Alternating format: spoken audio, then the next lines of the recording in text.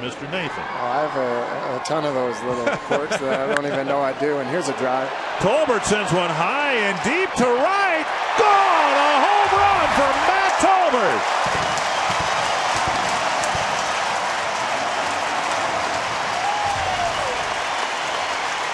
His first of the year, his first away from U.S. Cellular Field in Chicago.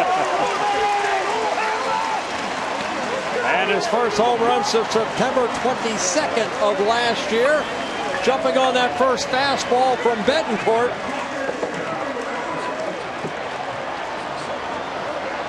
And Orlando Hudson saying yes. And O-Dog will probably take all the credit.